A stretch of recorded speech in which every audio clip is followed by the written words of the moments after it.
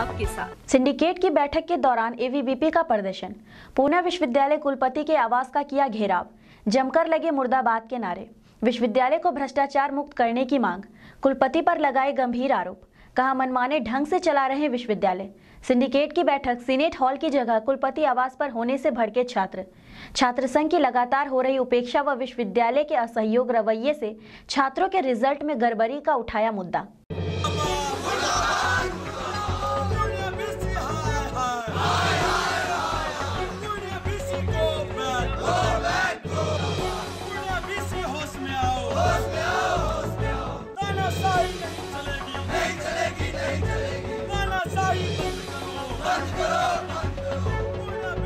अंदर सिंडिकेट की बैठक बाहर मुर्दाबाद के नारे। ऐसा ही कुछ नज़ारा दिखा पूर्णिया विश्वविद्यालय के कुलपति आवास के बाहर। अखिल भारतीय विद्यार्थी परिषद के कार्यकर्ताओं ने घंटों बवाल काटा। बैठक के स्थान को बदलकर सीनेट से कुलपति आवास किए जाने से कार्यकर्ता भड़क उठे और जमकर नारेबाजी चलने लगी। होश में आओ होश में आओ। होश में आओ। बंद करो। बंद करो बंद करो पूर्णिया विश्वविद्यालय के सिंडिकेट की रविवार को चल रही बैठक के दौरान बाहर विद्यार्थी परिषद के कार्यकर्ताओं ने मांगों को लेकर जमकर प्रदर्शन किया। इस दौरान कार्यकर्ताओं ने वीसी के खिलाफ नारेबाजी करते हुए विश्वविद्यालय को भ्रष्ट पदाधिकारियों से मुक्त करने की बात कही। ये बैठक पूर्णिया विश्वविद्यालय कुलपति प्रोफेसर राजेश सिंह के आवास पर चल रही थी। यहाँ विद्यार्थी परिषद के कार्यकर्ताओं ने आवास के बाहर सीनेट सदस्य के रूप में विश्वविद्यालय छात्र संघ की उपेक्षा, पीयू के असहयोग रवैये के कारण छात्रों के रिज़ल्ट में हो रही गड़बड़ी व छात्र संघ की लगातार हो रही उपेक्षा समेत अन्य मांगों को लेकर घंटों प्रदर्शन किया।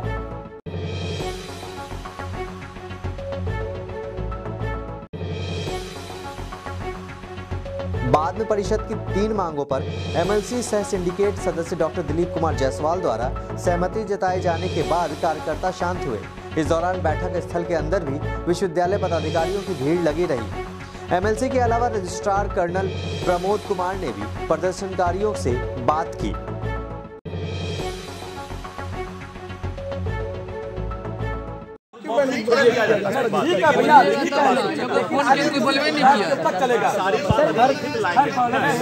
सीनियर में कैसे लोग बैठा दिया? पुलिस को?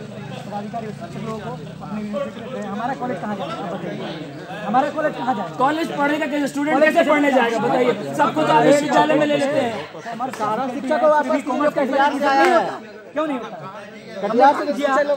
कॉलेज वापस कीजिए। कॉलेज का। वापस का एडमिशन नहीं हुआ। क्यों नहीं हुआ?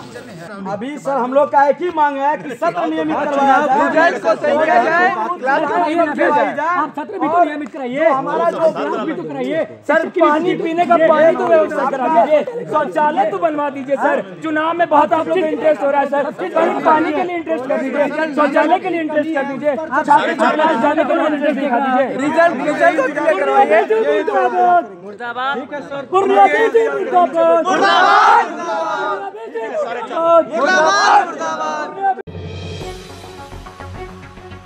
गौरतलब है कि सिंडिकेट की बैठक पहले से विश्वविद्यालय के सीनेट हॉल में निर्धारित थी लेकिन बैठक वहाँ नहीं होकर अचानक विश्वविद्यालय के कुलपति आवास पर बुलाई गई थी। इसके कारण विभिन्न मांग को लेकर ज्ञापन देने पहुँचे कटिहार, किशनगंज, अररिया व पूर्णिया के अखिल भारतीय विद्यार्थी परिषद कार्यकर्ताओं ने विश्वविद्यालय के समक्ष प्रदर्शन शुरू कर दिया। वहाँ वीसी के मनमानी, रवैये के खिलाफ नारेबाजी करते हुए सभी कार्यकर्ता वीसी आवास पर पहुँच गए, जहाँ गेट के बाहर घंटों प्रदर्शन चलता रहा। दूर दूर से छात्र आए हैं, लेकिन हमारे बीसी साहब एक बार निकल के जो है कोई छात्र हित के लिए बाहर नहीं निकल पा आ रहे हैं। वो बात नहीं कर पा रहे हैं। किन चीज़ों के लिए आज आक्रोश फूटा वीसी आवास के सामने? क्या आज आज जो है आप हम लोग देख रहे हैं कि ये पूर्णिया विश्वविद्यालय और बीएन मंडल विश्वविद्यालय आपसी लड़ाई के कारण जो छात्र हित का जो भविष्य के साथ खिलवाड़ किया जा रहा है छात्रों के भविष्य के साथ खिलवाड़ किया जा रहा है उसका आप उदाहरण देख सकते हैं। Part one part two part three का जो रिज़ल्ट अभी आया है हाल फ़िलहाल में उसका 500 जो उसका फुल मार्क्स है उसमें सत्ताईस सौ तीन हज़ार उनतीस सौ ऐसे नंबर दिया गया मार्क्स दिया गया है। ये छात्रों के भविष्य के साथ क्या किया जा रहा है? और इतना ही नहीं इतना ही नहीं किसी को ज़ीरो नंबर दिया गया है कुछ नहीं है। कॉलेज में मूलभूत सुविधाएँ नहीं है कॉलेज में कुछ भी नहीं है। ये बैठक तय करते हैं सीनेट का विश्वविद्यालय में और बैठक कराते हैं अपने घर पे। ये चोरी जारी का जो मीटिंग हो रहा है ये चोरवा मीटिंग जो चल रहा है इसका विद्यार्थी परिषद कड़ी शब्दों में निंदा करती है। और हम लोग छात्रों के हितों के लिए कभी चुप बैठने वाले नहीं हैं। ये धरना अभी विश्वविद्यालय में जो अभी सीनेट का बैठक हो रहा है, उसको लेकर के किया गया है।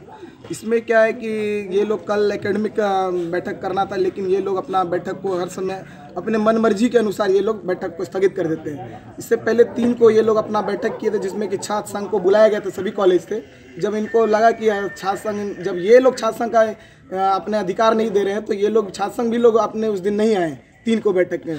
तो ये लोग क्या किए कि उस बैठक में आम छात्रों को बैठा करके उस दिन बैठक कर लिए।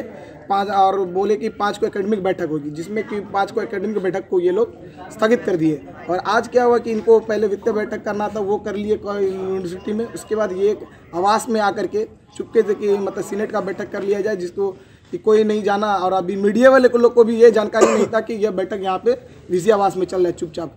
और ये लोग अभी क्या है कि इनका, इनके ऊपर बहुत सारा अभी विश्वविद्यालय का मामला आया हुआ है। पीजी में जैसे कि अभी आप लोग देखे होंगे कि पीजी का अभी एग्ज़ाम हो गया, जो कि सभी को पता है कि एडमिशन होने के दो महीने के अंदर इन्होंने छः समय छः महीने का एग्ज़ाम को इन्होंने दो महीने में लेकर के क्यों इस तरह का काम किया गया? इसलिए किया गया है कि छः महीने का एग्ज़ाम को ये लोगों ने पहले ले लिया कि मतलब जितना भी कॉपी अभी जो बना हुआ है, अभी आपको एग्ज़ाम के लिए आया हुआ है, उस कॉपी का खपत करना था इनको।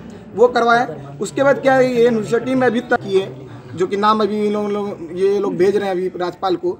उसमें क्या है कि यूनिवर्सिटी के लोगों का नाम होना चाहिए, जो कि यूनिवर्सिटी में केंद्रीय पैनल में जीते हुए लोग हैं। उन उन लोगों का नाम, दो लोगों का नाम है, उसके बाद तीन लोगों का नाम ऐसे लोगों को डाला गया है, जो लोग मतलब आप ये समझ लीजिए कि उन लोगों को कोषाध्यक्ष कोई अध्यक्ष है कहीं और जगह से, जो लोग इस बैठक में आ ही नहीं सकते, जो लोग अपनी इस बैठक के लिए लायक ही नहीं है। उन लोगों को इस बैठक में बुलाया गया। मांग क्या करते हैं आप लोग ये विद्यालय में होना था अब इस बावजूद इसके घर पे हो रहा कितना संगीन लगता ये है तो अब क्या बोला जाए इसमें?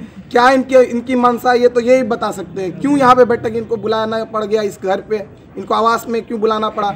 जबकि वित्तीय बैठक हो सकती है अगर वहाँ पे यूनिवर्सिटी में तो ये यहाँ पे क्यों करना पड़ गया इनको सिंडिकेट का बैठक? ये मामला है। और अभी इन, इन्होंने अभी पता होगा कि इक्कीस को जैसे कॉलेज में मारपीट हुआ उस मामले में अभी बहुत से चालीस छात्रों पे केस हुआ अज्ञात करके जो भी है। इन्होंने ऐसा कोई यूनिवर्सिटी नहीं है जहाँ पे तीन सौ तिरपन का मतलब आप पे धारा लगाया जाता है। इन्होंने तीन सौ तिरपन का धारा लगा करके सभी छात्रों का भविष्य बर्बाद करने की कोशिश किया गया है। और इन्होंने उस केस में ये भी किया है कि किडनैपिंग हमने बीसी का कब किडनैपिंग किया? बंधक कब बनाया?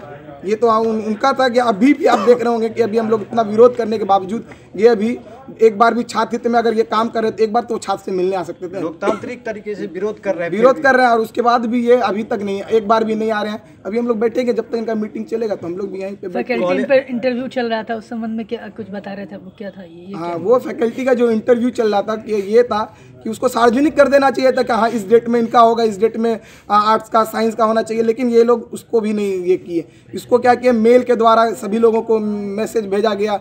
ठीक है मेल किया गया लेकिन बहुत लोगों को मेल देखने का समय नहीं रहता है। बहुत लोग मेल पे इतना ये नहीं एक्टिव नहीं है। लेकिन इन्होंने क्या क्या? मेल पे भेजा गया। मेल बात मेल मेल में क्या था? आप आप सीधा ये कर देते इस डेट से इस डेट में मेरिट लिस्ट निकाल करके आप ये कर देते कि इस डेट में साइंस स्टूडेंट का इस डेट में हिस्ट्री का स्टूडेंट का ये होगा। पारदर्शिता नहीं रखी नहीं रखी गई। जो है हम सब यहाँ पर पूर्णिया विश्वविद्यालय के कुलपति महोदय के घर के बाहर विरोध कर रहे हैं, क्योंकि आज तक इतने दिनों से छात्र संघ की एक भी मांग पर विश्वविद्यालय या महाविद्यालय प्रशासन द्वारा ध्यान नहीं दिया गया है। यहाँ तक कि इतना हद तक कर दिया जाता है किसी किसी कॉलेजों में कि छात्र संघ पदाधिकारी को वहाँ के प्रिंसिपल से मिलने नहीं दिया जाता है। स्वयं हम लोगों को वाइस चांसलर सर और डीएसडब्ल्यू सर से मिलने के लिए घंटों लाइन में खड़े रहना पड़ता है, घंटों इंतज़ार करना पड़ता है। छात्रों को इतना हद तक परेशान किया जा रहा है कि किसी भी कॉलेज में पीने के पानी की व्यवस्था नहीं है, किसी भी कॉलेज में सही से शौचालय की व्यवस्था नहीं है। अभी तक छात्र संघ का खाता भी नहीं खोला गया है। जब बार बार खाता की मांग की जाती है तो आज, कल, परसों करके डेट टाल दिया जाता है प्रशासन द्वारा। अंतिम ये होता है कि हम लोगों को बार बार उनसे डिमांड करना पड़ता है कि, सर, हमारा ये काम करवा दीजिए, सर, हमारा ये कर दीजिए। स्टूडेंट परेशान है, लेकिन विश्वविद्यालय प्रशासन द्वारा कभी हम लोगों पर ध्यान नहीं दिया जाता है। सारे छात्र संघ पदाधिकारियों ने अंतिम में निर्णय लिया कि तीन तारीख को जो बैठक हो रही है, हम सब उसका सामूहिक रूप से बहिष्कार छात्रों को बैठक में बैठा दिया गया, ये कह करके कि ये सब छात्र संघ के चुने हुए प्रतिनिधि हैं। हमारा प्रतिनिधि होने का भी अधिकार इन लोगों ने छीन लिया। उस समय उन्होंने ये कह दिया कि यही सब जीते हुए छात्र संघ पदाधिकारी हैं, जबकि हम लोगों को ठीक से किसी को सूचना भी नहीं दी गई और जिनको सूचना दी गया, उनको ये भी नहीं कहा गया कि आपको किस समय पर आना है। आधी अधूरी सूचना दी गई, इसीलिए छात्र संघ द्वारा सामूहिक बहिष्कार किया गया। उस बहिष्कार का भी उन लोगों ने गलत मतलब निकाल लिया, कह करके कि छात्र संघ प्रतिनिधि एक्टिव नहीं है, छात्र संघ प्रतिनिधि अपने दायित्व से मुकर रहे हैं, विश्वविद्यालय ये कहने लगता है। जब जब हम अपने मांग को लेकर आगे आते हैं, तब तक हमें कुछ और सुनने मिल जाता है। जब जब हम आते हैं, कहते हैं कि पीजी के स्टूडेंट परेशान हो रहे हैं, पीजी की सीट खाली है पर आप एडमिशन क्यों नहीं ले रहे हैं? तो बार बार हमें कहा जाता है कि अगले महीने दस दिन रुक जाइए, पंद्रह दिन रुक जाइए, इस तरह से डेट आएगा पर ऐसा कुछ नहीं होता है।